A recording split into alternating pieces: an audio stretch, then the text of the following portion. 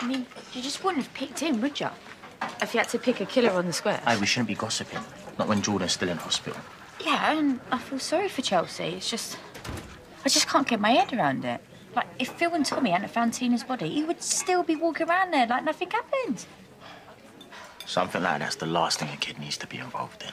And I don't want to lay any more on Tommy, but I'm gonna have to talk to Kat. Seems like he's barely even trying with his work these days. Maybe he's just bored. I mean, you couldn't have paid me to get my own work in when I was his age.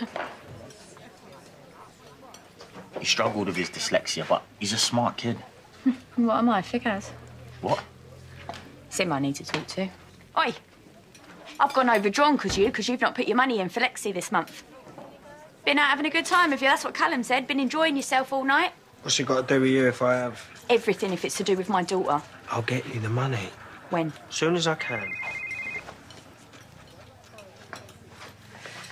This ain't his number. He ain't around at the moment. Look, I'm not dealing with that side of the business anymore.